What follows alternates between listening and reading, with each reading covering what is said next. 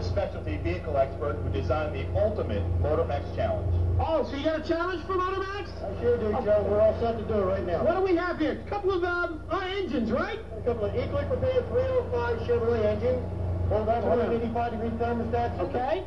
One's prepared with normal conventional antifreeze. One's prepared with antifreeze and Motormax. So this is normal, this is Motormax. Motormax, that's correct. As you can hear, the engines are running right now. So what are we going to look for here? I guess the temperature gauge is important, right? We're at normal running temperature now. What we're going to do is we're going to shut the fans off.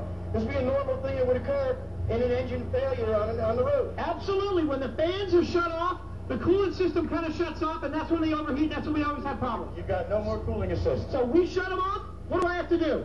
I'll go over here to the Motormax engine. We're What are we going to do? switch off. That's going to shut your fan off. Let's shut them up at the same time. Tell me when. Go ahead now. Okay, now we have no cooling fans to assist in the cooling. All right. Oh, look at look, look, at this. Look at this. We're already at what? This Two- is over. We're already climbing on this motor. We're at 210 already. We're already 210. getting into the range where we're going to start being concerned about this motor. Okay, this is the motor without Motormax. Come on, let's look over here. Under 200. Under 200. What are we at? 194? 194. That's Pretty amazing. That's average range. You want to be in that range. That's running temperature. So the fan being cut off has not affected the Motormax engine yet. Not yet. Okay.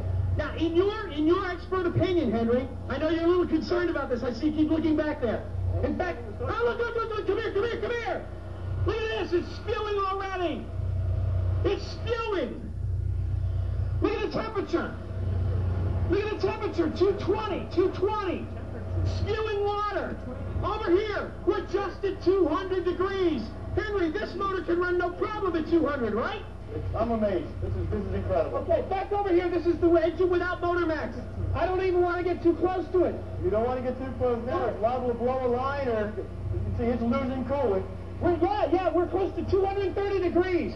Again, the cooling fans have been cut off. This happens to many, on the road. The most common cause of engine failure is a cooling fan loss. Right.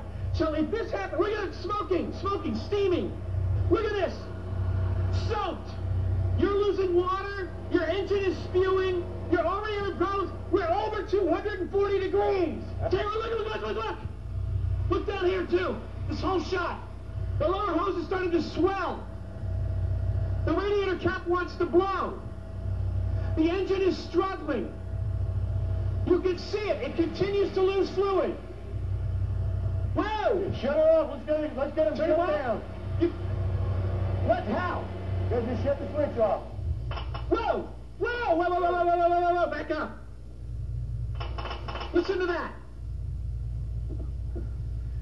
I don't need to say anything. Just take a look at this picture. There is your car without Motormax. Good luck to you.